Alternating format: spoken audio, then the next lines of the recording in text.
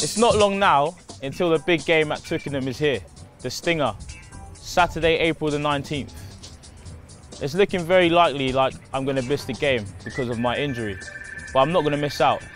I've come up with four very serious sporting challenges for the boys to compete against me at. Let's see how it goes. Let's get this on.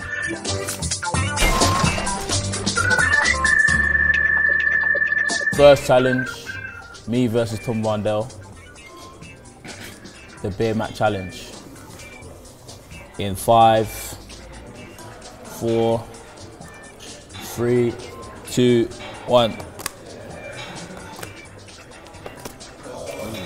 That is that's 15, mate.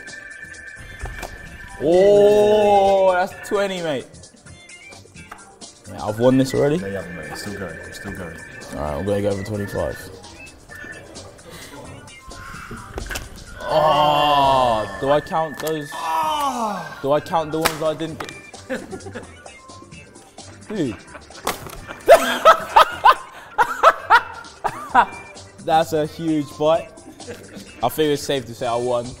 And uh, let's just count these. So I got one, two, three, four, five, six, seven, eight, nine, 10, 11, 12, 13, goody, 14, 15, 16, 17, 18, 19, 20, 20 beer mats.